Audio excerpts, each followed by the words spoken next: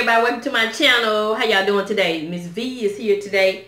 Uh, today I want to talk about um, bill collectors, telemarketers, or whatever y'all call yourself, service, um, customer service representative, whoever. But anyway, so I had a situation where I went, I, I chose not to pay a bill. It was like a financial company where I had got this little personal loan from. So anyway, I had a situation where something happened and I had to use the money for something that was more important to me. And so they called me. Now, mind you, the bill, it might have been a day late. Never been late on the bill. Been dealing with them for over five, six, seven, eight, probably 10 years. So they called. This a friendly reminder that your um, payment is past due. I understand it. I mean, I said, okay, I, am fine with them doing that. They got to do their job. I understand they got to do their job. Let me go ahead and do a disclaimer. If any of my supporters, if, if y'all do this type of work, I'm not going to apologize um, for the things I say. If you're guilty of this, then I'm talking about you too. But Miss Vee still love you. But I'm just saying, I don't discriminate. Supporters, non-supporters, family, friends, no matter if it's one of my children, I'm talking about them too. If, if, if you are this type um, customer service rep. So anyway, so back to the story. So they called to give me a friendly reminder. Okay, I already know I'm late. Okay, I understand you doing your job. Let's go and get that out of the way. I know they have to do their job. Okay, that's not what this video about. This video is about how I feel about the way they do their job. Okay, okay, so I'm late.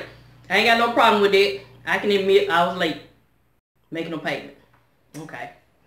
So let me ask y'all a question. If you're in a situation where you need to make a payment on a bill, not a bill for your housing or anything else, just extra bill like this bill, finance bill, and you and your car breaks down, what you gonna do? You gonna get your car fixed or you gonna pay them? Or you gonna go in your savings if you got the savings or you gonna pay them? I mean, what you, what you gonna do? So anyway, I, that's the decision I had to make. That's another reason why I had to get on the debt-free journey. Because if I would have had savings and stuff um, set aside like I was, I was supposed to, then I wouldn't be having these different um, situations arise. So, okay, so I did make the payment. I went ahead and did whatever I had going on. So they called, said they just a friendly reminder. Um, blase, blase. Do you know when you're gonna have the money? No, ma'am, I don't. As soon as I get the money up, I will pay y'all. You you think I like not paying y'all? I don't want to mess my credit up. Even though my debt ratio already too high, but still, I, I want to keep good credit if I can. Okay. So she proceeded to just keep on talking. Well, ma'am, do you mind me asking what's going on? I said, what you mean what's going on? Life. Well, ma'am, I can't write life on the paper. I said, why can't you? You don't know how to spell it? L-I-F-E. What you mean you can't write life on the paper? So what you supposed to write on the paper? Okay, I don't have the money, so you can't write that on the paper. So, so what what other things can you write on the paper? Y'all please enlighten me. If y'all are a customer service representative, can you tell me the criteria? What can you write down on the paper? Okay, write down that she does not have the money. You can't write life, so write down she does not have the moment money at this time. And so I thought that was very unprofessional of her to ask me what's going on because number one, you don't care. Number two, at the end of this conversation, you still want your money. So I kind of got offended. Well, I didn't mean to offend you. Well, you did offend me. I don't care what you meant to do. You did offend me, woman. Um, I'm trying to get the money just like you trying to get the money from me. So, anyway, I said, let me calm down. I don't need me getting upset because I ain't got the money, so I don't need me getting upset. Okay, so she said, well, let me let, I'm going to let you talk to my supervisor.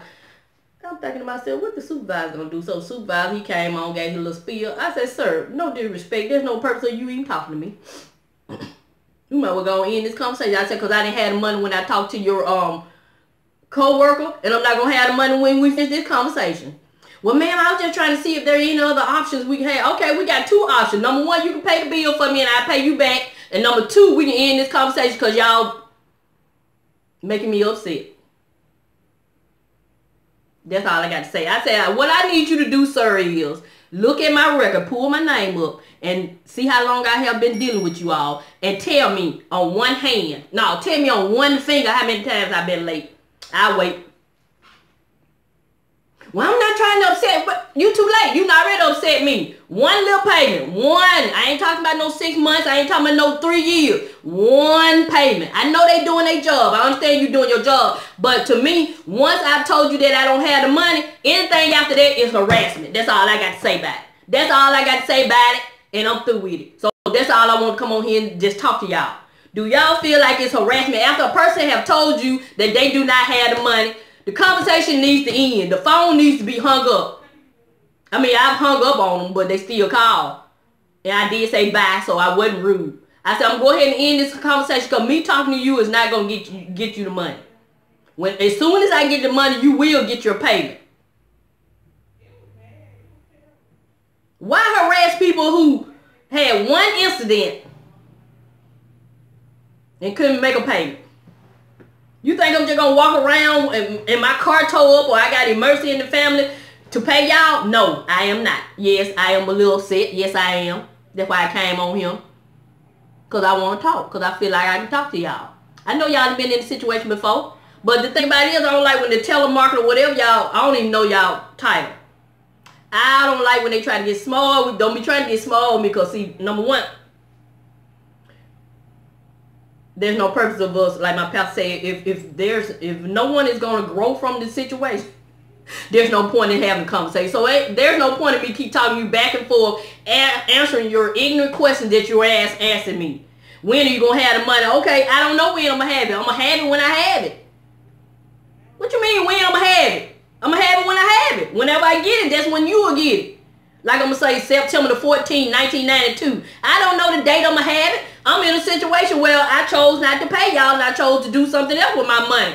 Quite naturally, the next time I get paid, I'm going to try to pay y'all. But for you to ask me that dumb question, whoo. But anyway, so like I was saying, I, I realized there was no reason for me to keep talking to him. How many times do I have to tell you I don't have the money? I ain't going to tell you but one time. I already told you. So like I told him, look at my record. Ma'am, I understand that you, you're right. You've never been late. I know I never been late. So why you harassing me? Go get some of these folks who ain't never, don't never pay their bills on time. Go call some of them. Don't be calling me. I'm just saying.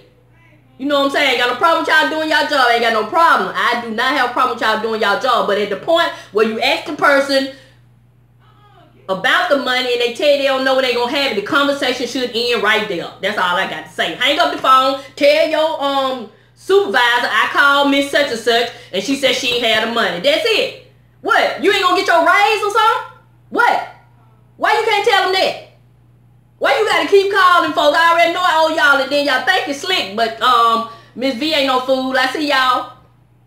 See, I know y'all often number. I done blocked that. So I don't need me keep talking to y'all. I know how to make the payment. I know how to go online and make the payment. I know how to come in there and make the payment. So ain't no point y'all keep calling me every week. So y'all think you slick. You call from your cell phone. I don't know your cell phone number, so get what I still ain't answering that. Ain't no point in me answering all these numbers. I do not know. If it's for a job, they'll leave a message. That's how I feel about it they want me to work for them. So other than that, if it ain't none of my family, friends, somebody that number I know, I ain't answering it.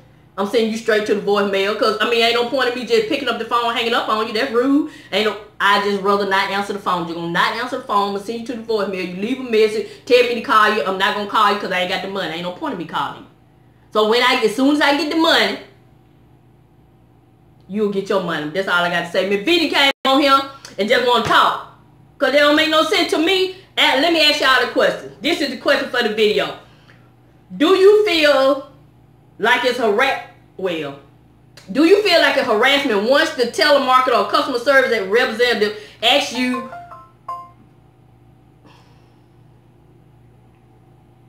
okay.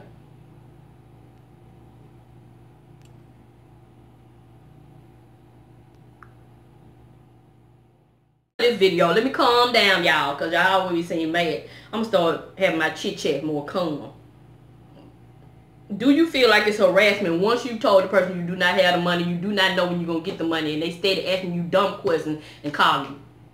I feel like it's harassment. Some of y'all going to say they doing their job. Okay, you already did your job. You already called me. Don't call me no more. But anyway, that's going to end this video. And this is Miss Vee. I'm continue to show you love and encourage you. And I'm going to help you save on some of the things you need to get some things you want. Thank you and have a nice day. I'm finna go out there and make these folks money so I can make them make this payment. Bye.